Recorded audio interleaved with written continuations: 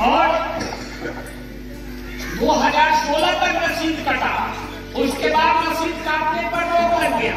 रसीद काटने पर ही रोक नहीं लगा। उस ज़मीन को खरीद, बिक्री पर भी रोक लगा दिया।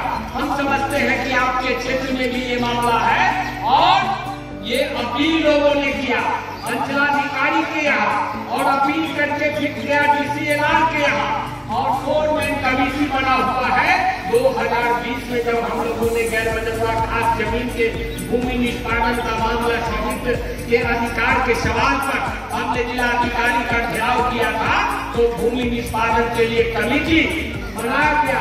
उसके नोडल पदाधिकारी एडीएम को बनाया गया और एडीएम की अध्यक्षता में संबंधित अंचल के जिलाधिकारी, संबंधित अनुमंडल के भूमि उप सुधार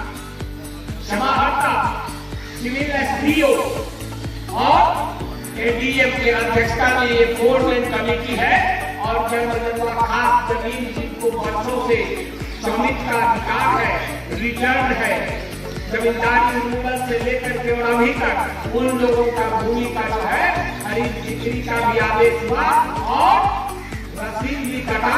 उसमें मेरे ही सनौली गाँव का लगभग दो बीघे ज़मीन जो है जन्मजन्मा खास था और जमींदारी उन्मूलन से के समय से इन लोगों के पास था। 2016 में रोक लगा और रोक हटाया गया और खरीद बिक्री का आदेश भी हुआ। आज रसीद भी कट रहा है और इस खेसरा से ज़मीन बिक्री भी हुआ है। आप लोगों को अपील में भी जाना होगा।